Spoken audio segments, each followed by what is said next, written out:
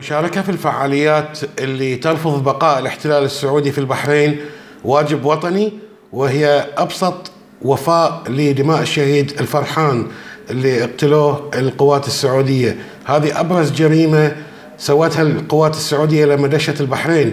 وهذه أبرز شيء وأبرز سبب يخلينا إحنا نوقف ضد الاحتلال السعودي في البحرين